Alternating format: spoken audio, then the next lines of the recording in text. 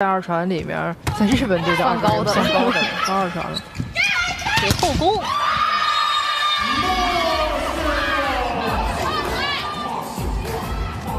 黑后爱这几个进攻其实没有太多的特点，就是一般性的来打。你看他从头打的这样，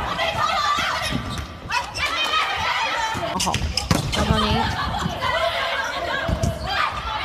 行做的都非常好。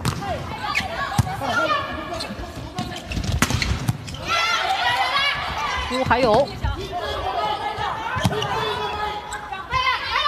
这个高管球能不能上好？这次进攻还是过不去啊！网口啊，我们还是有很强的优势。球过不去，真的过不去。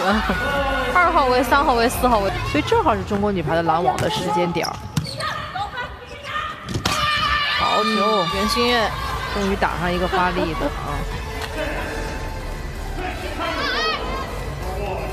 袁心玥也是这一年当中，因为呃解放军女排的这个解体啊，所以她也一直是没有比赛打。你像在国内的比赛，联赛也好，锦标赛也好，她都没有参加，所以她这是意义上的就是光练了，还没有比赛打。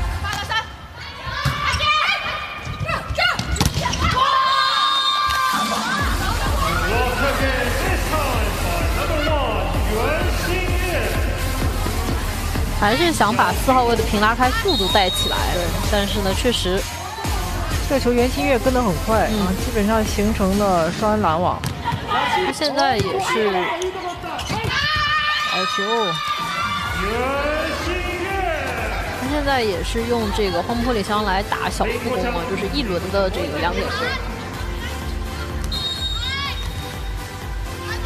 呃，老将能力是有限。龚翔宇发球，角球好的，布朗网车下跟的非常好。我还有。上好球，漂亮，自己打，慢慢的配上了啊，这球传的很舒服，所以袁心玥也能发上力了。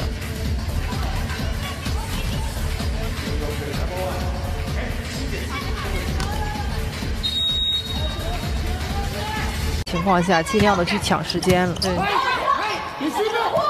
一传不到位。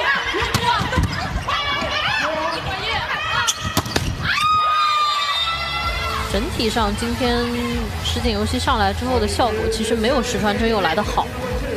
但是呢，都得打，所以这个中田久美也在不断的调阵容，然后每个人都有机会。